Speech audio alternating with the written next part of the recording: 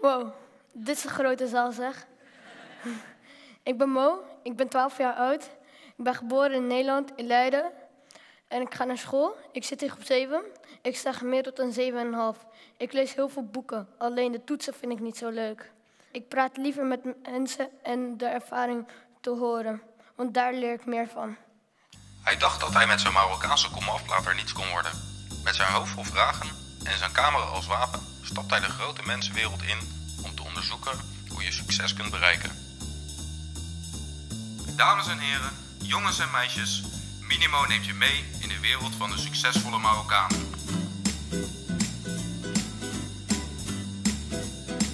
Wil jij weten wat hij later allemaal kan worden?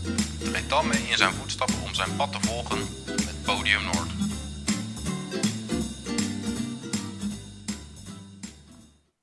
Toen ik tien was, dacht ik dat alle Marokkanen criminelen werden. Marokkaanse Nederlanders zijn veel in het nieuws en wonen vooral in de Randstad. Op het moment zie je op heel veel punten echt zorgelijke eh, verschillen. Marokkaanse en Turkse Nederlanders komen onevenredig veel in contact met de politie. En ze zijn meer werkloos. Je kunt je vast wel voorstellen dat je tien bent en denkt dat er geen andere baan is dan crimineel worden. En je ouders, wat, hoe, hoe denken je ouders daarover? Je denkt nu vast dat, alle, dat, eh, dat het door mijn ouders komt. Dat die niet goed voor mij zorgen. Maar dat is niet zo. Mijn vader heeft een eigen bedrijf en heeft medewerkers in dienst. Mijn moeder kan heel erg lekker koken. Ik ben blij dat ze bestaat. Ze steunt me om door te zeggen dat ik vroeg moet slapen en ze maakt mijn ontbijt altijd klaar. Geef ze ook nog een soort tip van hoe je in het leven moet staan, wat dan heel belangrijk is? Mijn ouders zeggen altijd tegen mij dat ik eh, eh, moet leren en hard werken en moet bikkelen.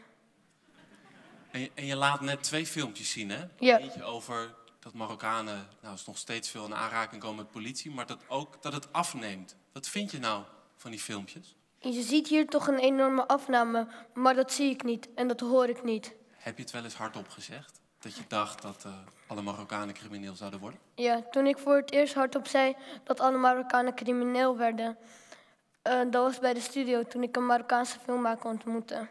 Ik dacht, huh? Ik keek naar die man en ik was verbaasd dat hij Marokkaans was en dat hij filmmaker was. En toen? Wilde je zelf ook filmmaker worden? Ja, toen wou ik ook presentator worden. En, eh, en wie heb je allemaal geïnterviewd dan? Ik heb Wassima van Phoenix geïnterviewd. Ik heb eh YouTube geïnterviewd. Ik heb Abu Talib geïnterviewd. En Ali B. En Marokkaanse artsen nog. En heb je nog iets belangrijks van een van hen geleerd? Van Ali B had ik geleerd dat je hard moet werken en dat je moet bikkelen. Heb je nog een boodschap voor ons? Ik wil dit jullie gaan vertellen om een eh, positiever beeld te krijgen over Marokkanen. Dan gaan mensen anderen veroordelen terwijl ze zich niet eens kennen. Dan geloven ze ook niet meer in zichzelf. Als je positief bent, komt er meer echtheid. Dan geloof je dat het goed kan gaan. Nu heb ik een message. Ik heb inmiddels duizenden mails.